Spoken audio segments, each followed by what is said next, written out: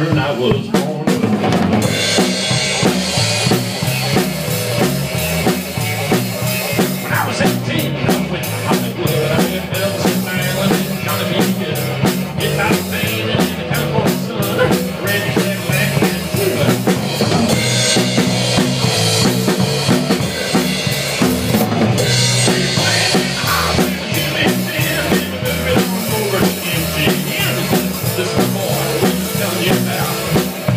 Cigarette and stuck his hand out.